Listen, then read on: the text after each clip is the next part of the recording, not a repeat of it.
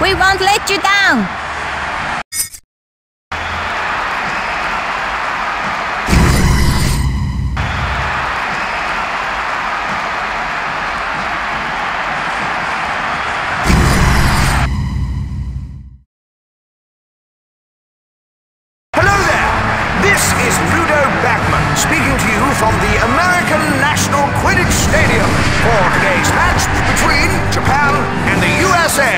For today's game, my co-commentator will be Jacqueline Lejeune.